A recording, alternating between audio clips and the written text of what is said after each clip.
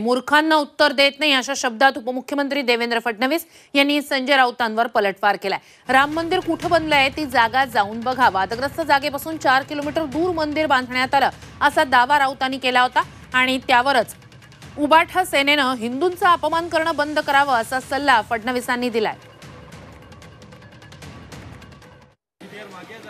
ज्यांचं या आंदोलनात काही कॉन्ट्रीब्युशन नाही असे लोक अशा प्रकारचे आरोप करून स्वतःचं हसं करून घेत आहेत आणि कोट्यावधी हिंदूंचा अपमान करतायत आता तरी उबाठाने अशा प्रकारे हिंदूंचा अपमान करणं उबाटा सेनेने बंद करा. पहली बात तो मैंने जिंदगी में ये फलसफा मेरा है कि मूर्खों को मैं जवाब नहीं देता.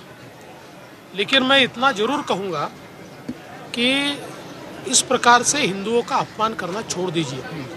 आपका राम जन्मभूमि के आंदोलन में कोई कंट्रीब्यूशन नहीं, कोई कंट्रीब्यूशन नहीं है और अब इस प्रकार से बातें करके करोड़ों हिंदुओं की आस्था को ठेस पहुँचाने का काम ये जो उद्धव ठाकरे जी की सेना कर रही है, ये बहुत गलत है।